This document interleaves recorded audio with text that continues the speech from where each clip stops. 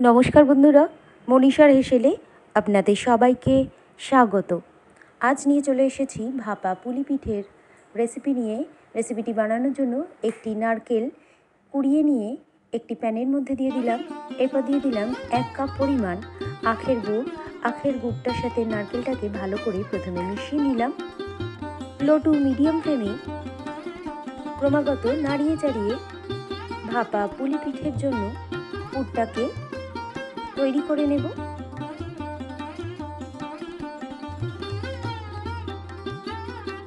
পুরটা মোটামুটি তৈরি হয়ে আসলে দিয়ে দিলাম ছয় থেকে সাতটি থেতো করে নিয়ে আয় এলাচ।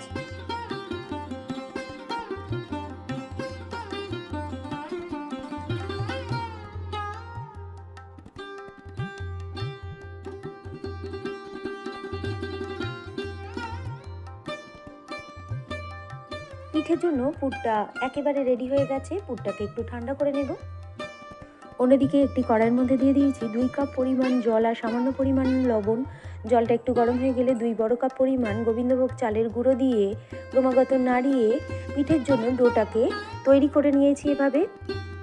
এরপর একটি কলা পাতার মধ্যে নিয়ে নিয়েছি পিঠের জন্য নারকেলের পুরটা আর গোবিন্দভোগ চালের গুঁড়ো দিয়ে তৈরি করা ডোটা সামান্য পরিমাণ গোবিন্দভোগ চালের গুঁড়ো নিয়ে নিলাম। বড় ডোটা থেকে এইভাবে ছোট ছোট লেচি কেটে নিয়েছি। এরপর এইভাবে ছোট লেচিটাকে পিঠের আকারে গড়ে নিতে হবে। অল্প অল্প চালের গুঁড়ো লাগিয়ে লাগিয়ে। আর তারপর এর মধ্যে নারকেলের পুরটাকে ভরে পুলি পিঠের আকার দিয়ে দিয়েছি। আপনাদের বোঝার সুবিধার্থে এখানে দুটি পুলি পিঠে করে দেখিয়েছি। আশা করি আপনাদের বুঝতে কোনো অসুবিধা হবে না।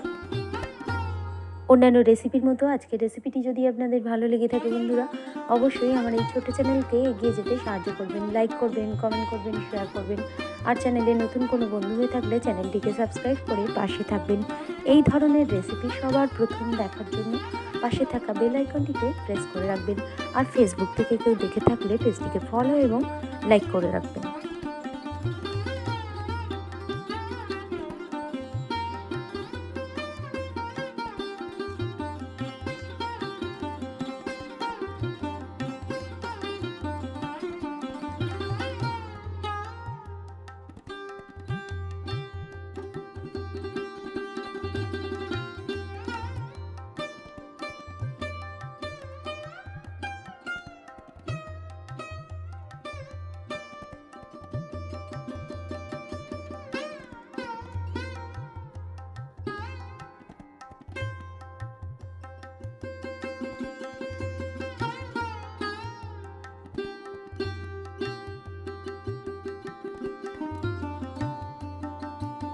এইভাবে একে একে সমস্ত পুলি পিঠেগুলোকে গড়ে নিয়েছি।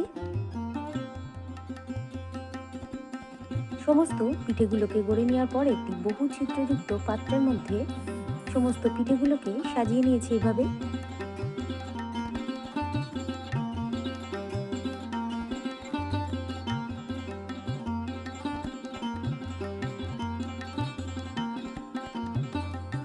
সমস্ত পিঠেগুলোকে এইভাবে সাজিয়ে নেওয়ার পর একটি কড়াইয়ের মধ্যে দিয়ে দিয়েছি দুই কাপ পরিমাণ জল আর একটি খাবার রাখা স্ট্যান্ড দিয়ে গরম করে নিয়েছি দশ মিনিটের জন্য লো টু মিডিয়াম ফ্লেমে এরপর সাজিয়ে রাখা পিঠের পাত্রটাকে কড়াইয়ের মধ্যে রেখে ঢাকা দিয়ে দিলাম দশ থেকে পনেরো মিনিটের জন্য ভাপিয়ে নেব।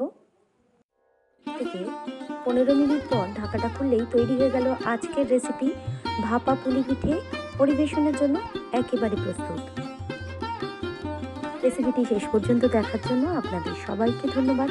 সবাই ভালো থাকবেন, সুস্থ থাকবেন।